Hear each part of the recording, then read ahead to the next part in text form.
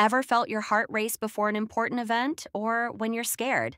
That's adrenaline at work. Adrenaline, also called epinephrine, is a hormone and neurotransmitter produced by your adrenal glands. It's released when your brain detects stress, danger, or excitement, triggering the fight or flight response. Here's what happens adrenaline surges into your bloodstream, speeding up your heart rate and pumping oxygen to your muscles and brain. Your airways open wider, giving you more energy to react. Your senses become sharper, and your body temporarily shuts down non essential functions, like digestion, to focus on survival or action.